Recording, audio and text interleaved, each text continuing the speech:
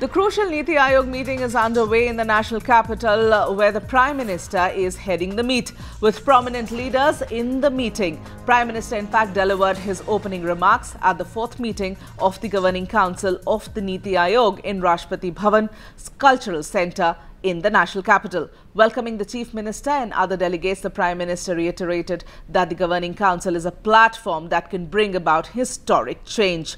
Anisha is standing by. In fact, she joins us right from outside uh, the venue of uh, this uh, meeting of Niti Aayog, right outside the Rashtrapati Bhavan. Uh, Anisha, the Prime Minister has just spoken. He has delivered his initial remarks at this meeting. And of course, he is outlining what the agenda would be of this day-long meeting. He talks about this platform being a place that can bring about historic change. He talks about cooperative federalism. He's talking about Swachh Bharat to Ayushman Bharat to all the other schemes that has been promulgated by his uh, government. Not a word, of course, about any of those contentious issues, which includes the statehood demand of Delhi and, of course, the special status for Andhra Pradesh. How do you think the day is going to pan out from here? Well, the meeting has started, Megha, with the Prime Minister's remarks have been uh, completed.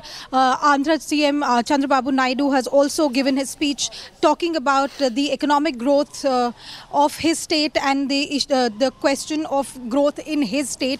Every chief minister in uh, at the meeting is now going to be giving their remarks with regard to their states, and all of this is going to continue even as the Prime Minister in his speech has said that he wants cooperative federalism. He wants all the state governments to work together. He he is looking forward to focusing on health, education, agriculture, and aspirational districts in this uh, in the country. He's uh, the prime minister is talking about uh, uh the fact that cooperate co cooperation between the center and the state is what holds the key to India's growth and progress. So with all of these issues, all right, and Anisha, just stay on with us. Hold your thoughts. We also have Aditi joining us on the phone line. Aditi, the Prime Minister has just spoken and of course he has outlined uh, what should be or what according to him will be the agenda of the meeting today. Not a word about the contentious issues is what I was asking Anisha. To what extent, what are you picking up from the sources in the government? To what extent is the government willing to allow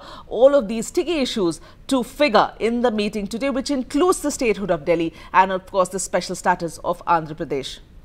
Well, uh, well, Megha, if we are expecting that the Prime Minister really will announce something or there will be any conclusive decision uh, that uh, uh we can see coming out as a result of the Niti Aayog meeting, it looks highly unlikely that something of that sort is really going to happen.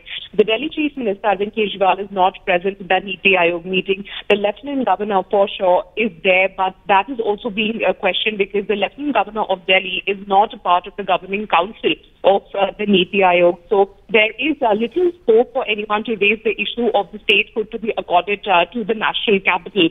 Uh, yes, Chandrababu Naidu and West Bengal Chief Minister Mamta Banerjee, our other Chief Minister, had decided yesterday that they will be raising such contentious issues with the Prime Minister but as of now, it hasn't been raised. The Prime Minister, in his opening remarks uh, in the uh, Niti Aayog meeting, has spoken about the economic growth. He has thanked the chief ministers for the various policies and the schemes of the government which have been successfully implemented in their respective states. He's also spoken about the new India mission of 2022 that the Prime Minister has always spoken about. So for now, the Prime Minister really hasn't uh, touched upon the contentious issues which all chief ministers are uh, ready to take up with the Prime Minister. We have to wait and see how really things pan out, whether or not the, these key issues, these critical issues are going to be are going to be raised. As Anisha was pointing out, Chandrababu Naidu is already right. making his speech, and he will be taking up the issue of the special package that is uh, uh, for his state. So uh, we have to wait till the end of the day, uh, right.